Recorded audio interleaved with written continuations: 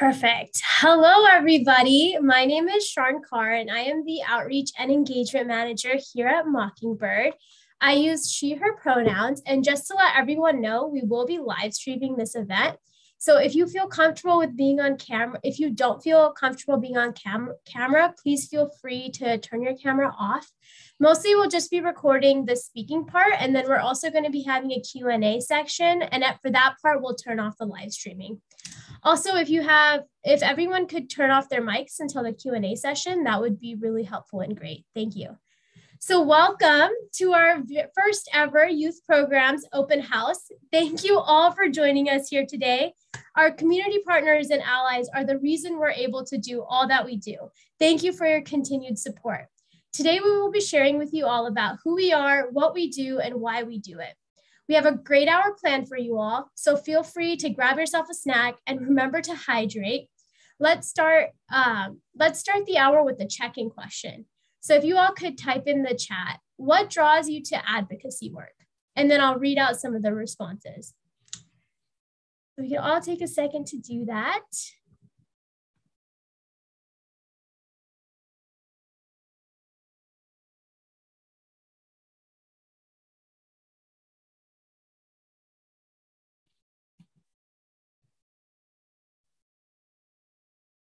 Change in service. I want to be a part of the solution. Love for my community. Making changes with a team.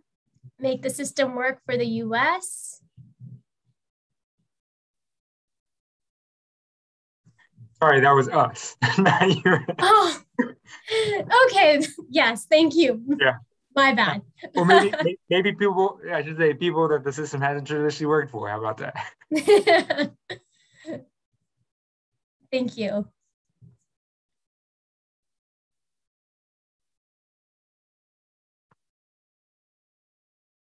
Sharing my personal experience, of future advocates will know there are people they can relate to and feel comfortable with.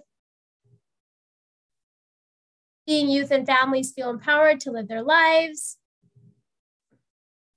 seeing things change for the better. Thank you all for your responses. That is so empowering and inspiring to start the day, to always remind ourselves of why it is we do what we do, the hard work of advocacy. So, thank you all for taking part in it. So, for the first portion of our event, we will be going over our mission, how our program works towards that mission, and the events and opportunities that we have for youth advocates. The second portion will be centered around real stories. We'll be highlighting those who have grown within Mockingbird. They will, show, they will share how Mockingbird has impacted their lives and future. For the last portion, we will have a Q&A session where you are all invited to ask us any questions related to Mockingbird. So let's get started. I will be passing it over to Sierra, who will be going over the land and equity, land and equity acknowledgement and Mockingbird Youth Program's mission and values. Thanks, Sharon. I am really happy to be here. Uh, the work that we put on this um, really brought us closer as a team. And I just want to say thank you for joining us. It's really great to be here. So, my name is Sierra Rogers. Um, I am a regional engagement coordinator for the Mockingbird Society um, here at the Central Region. I use the she and her pronouns, and I am currently on the Yakama Nation land. Um, I'm going to be starting us off with their land acknowledgement. And this is our statewide land acknowledgement. Um, so if everyone could pause, quiet, and reflect, um, we're going to open with this acknowledgement. We would like to recognize that we are on the land of the Coast Salish, Interior Salish, and Yakama Nation tribes. They have taken care of this land before it was colonized, and they continue to care for, honor, and defend their land. We honor with gratitude the land itself and all the Native tribes of Washington state.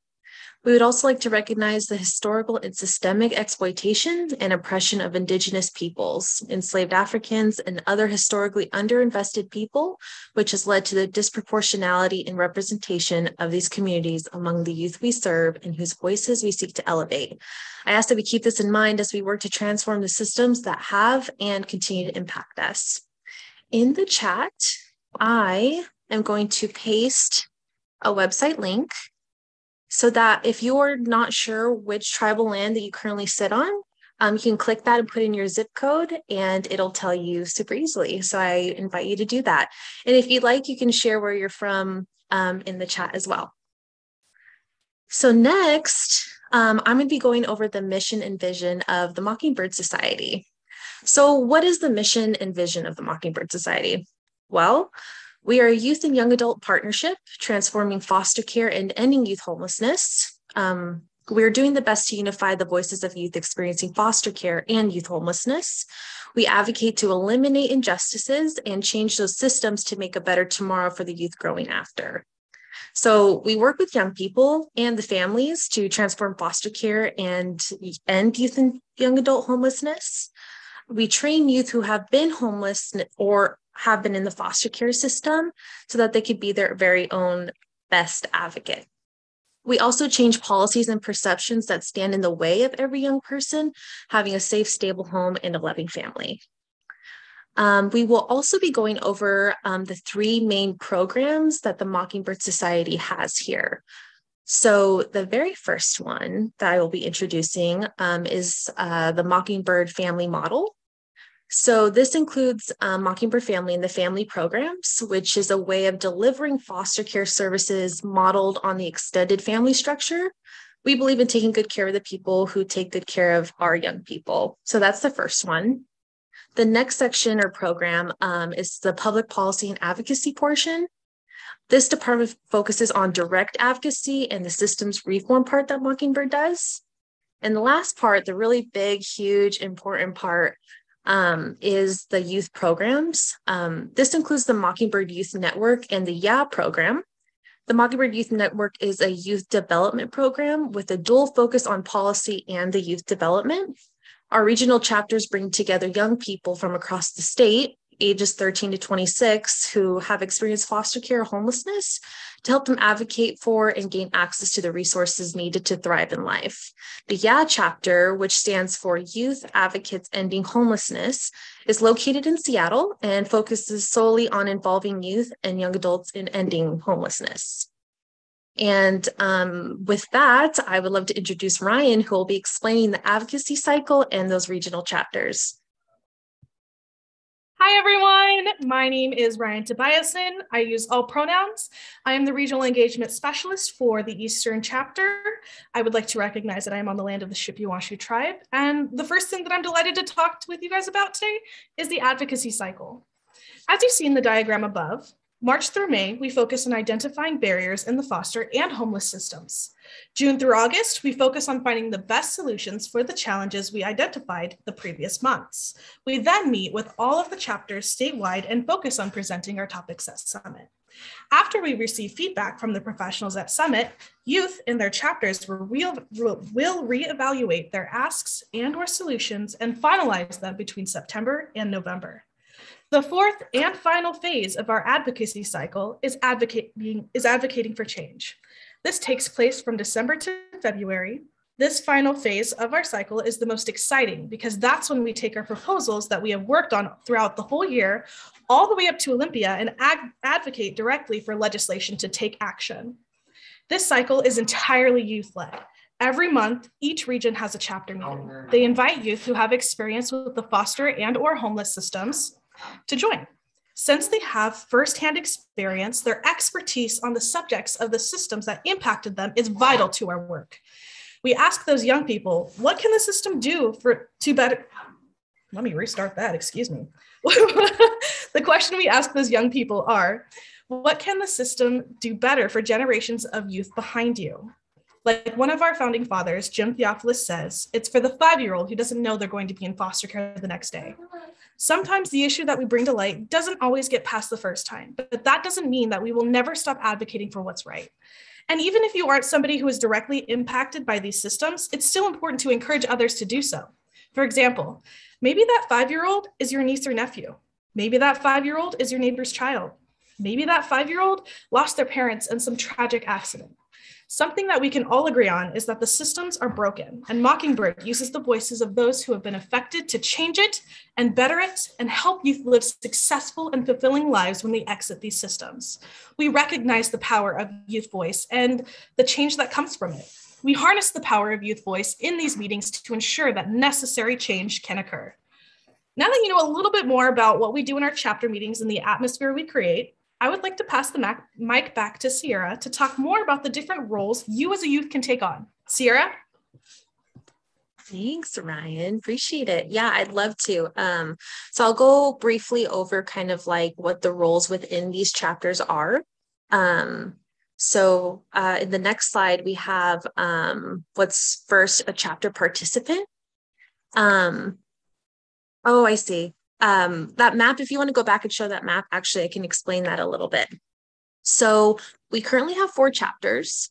The purple side is what you see as Peninsula chapter. So an engagement coordinator leads that region. Um, the orange is the Seattle slash Puget Sound chapter.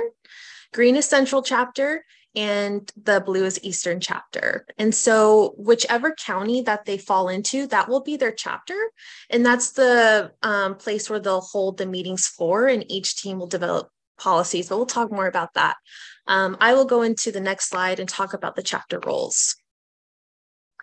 So, a chapter participant or a chapter member. A chapter member um, is a volunteer participant. They attend chapter meetings, stay in contact with regional engagement coordinators like myself. Um, they participate at their capacity and follow group agreements. They have the opportunity to attend chapter meetings, community engagement events, and Mockingbird Society annual events. Next, we have what is a leadership team member.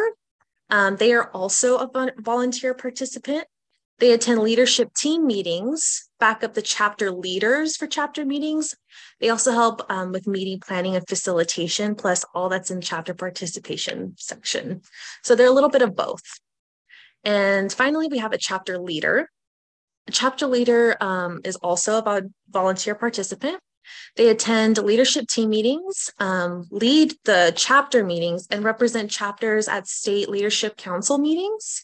Um, they support the regional engagement coordinators and they support um, our outreach efforts. They're assistants to the chapter and the regional engagement coordinator. They're a role model for all members and they engage and elevate other members um, within the chapter. And so um, those four uh, regions that you saw, we meet as a group regularly um, and talk about that advocacy cycle and some of the work that we're working on, support each other, check in, um, and really develop a um, strong connection um, within the org. And next, I will be um, letting Sharon take away with further um, information on annual events. Perfect. Thank you, Sierra. So we have various events and opportunities that take place for youth to advocate for themselves and the issues that matter to them. And just to reiterate, youth are stipend for their involvement in our events. We do believe in making sure that people are compensated for their time and effort. Mockingbird has its very own newspaper titled Mockingbird Times. Mockingbird Times welcomes submissions of articles, poetry, artwork, and photography from our young readers who have experience in foster care and or homelessness. Next, we have Summit, which is our annual event. It takes place during phase two of our advocacy cycle titled Defining Solutions. So, this is an opportunity for professional development to take place. It provides real world experience presenting policy issues and solutions to development advisors. And then for this, Mockingbird partners with organizations that help youth refine their solutions. And then we have Youth Advocacy Day, which takes place during the final phase of the advocacy cycle titled Advocating for Change. Youth Advocacy Day is a chance to make sure that youth voice is heard about issues that youth care about. It's armed with youth inspired legislative agenda. Youth and youth advocates meet with elected elected officials to talk about why issues matter to them. This day includes speeches by young people, policymakers, and fellow advocates. So to put all the work that youth have done over the years into, into perse- perspective, we will be playing a short video of youth participating in our advocacy cycle and advocating for policy change.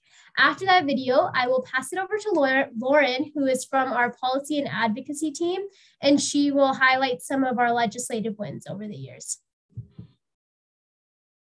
I think that there's a voice that matters in this conversation, and that is of the young people themselves.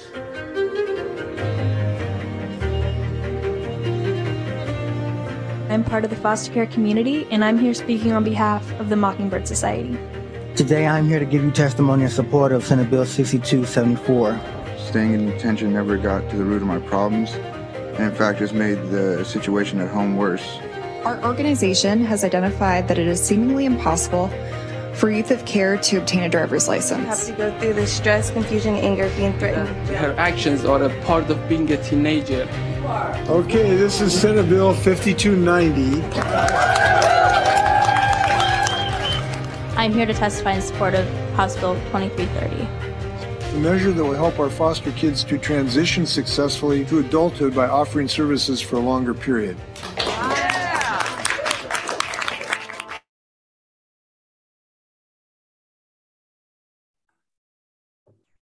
Thank you so much, Sharon. Um, Claire, I see your comment about um, in the chat, and that video makes me cry in a good way every time, even though I've seen it. I've seen it before.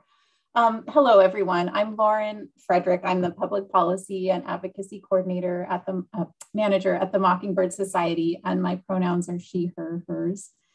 And um, I am one member of a small but mighty team of four people um, who make up our public policy and advocacy team. Um, so we've got two folks who work mostly on state level um, items, and then two folks who work mostly on King County level items. Um, so young people have opportunities to plug in on both of those efforts if they want to join us in that work. Um, and really, we can't do that work um, without them and without all of you. It's wonderful to see so many faces that we know and love um, who have helped us on these efforts over the years. Thank you for being here and really great to see some new faces as well. So I just wanted to highlight briefly um, a couple of legislative wins that you'll see on the slides here coming up. Um, so we have had upwards of 57 legislative wins in the 20 years since, more than 20 years since Mockingbird's been in existence. Um, which is is a lot and we know there's still more work to do. And we know that um, we do this work in partnership with all of you and with young people. And so i'm just really um, proud and excited to highlight a couple of wins at this moment. Um, so one of the um, one of the uh, items to just give a shout out to is extended foster care. So in our state, um, for many years, um, young people would have to be exited from foster care at the age of 18 with no um, option of staying on after that. And as we know, that um, proved to be an incredible hardship for a lot of young people. And so, starting in two, 2006, um, the Mockingbird Society um, worked with many of you and with young people to get started on extended foster care. And this is a multi-year effort. So it took um, more than 11 years to, to finally get it done, but we got a piece of it done every year until um, we felt that we had reached a place where every young person would be eligible for this program um, to stay in foster care through age 21 in our state, um, which is um, huge. And we know there's still work to, to do here to improve the program, but um, it's in place and um, it's something to build on. And so that's a huge uh, multi-year effort that took many, many hands. Um, and so that's just something to celebrate. Um, and then um, another um, example would be, this is just a one-year um, project, but IDs with ease. And in the video, you saw a young person speaking to this but the fact that youth experiencing homelessness um, were facing major barriers to getting um, their IDs, and they still are, and there's still work to do here. But in 2020, we were able to um, help get a bill passed, um, which will reduce which reduced the cost of ID for youth under 25 who are experiencing homelessness um, to five dollars, which was really great and then also directing the Department of Licensing to do a new and streamlined process so that young people would have an easier way to get their IDs and not so many hoops to jump through and so many documents to get and all that.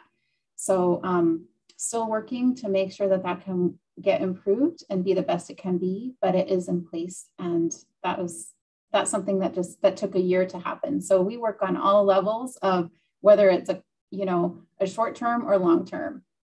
Um, and then the last thing I'll highlight is um, a budget item. So we work with the budget as well. And that was an extended foster care budget item from this year. Um, I think it might actually be on the next slide. We could go to that.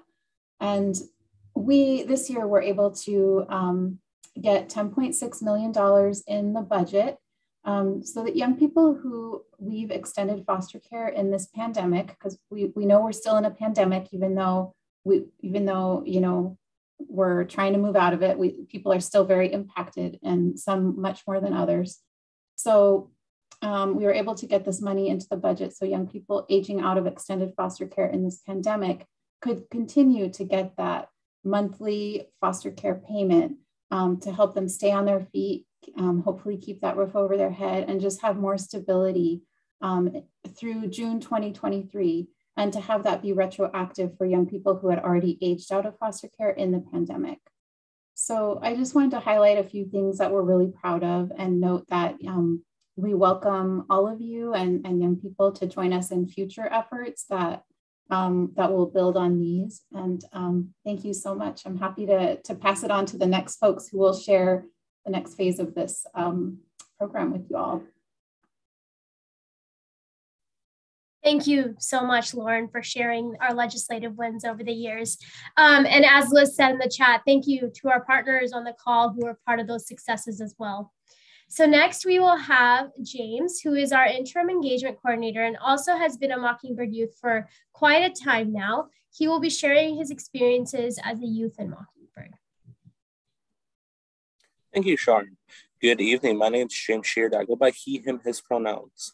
I am the intermedium Seattle region for the Mockingbird Society youth chapters.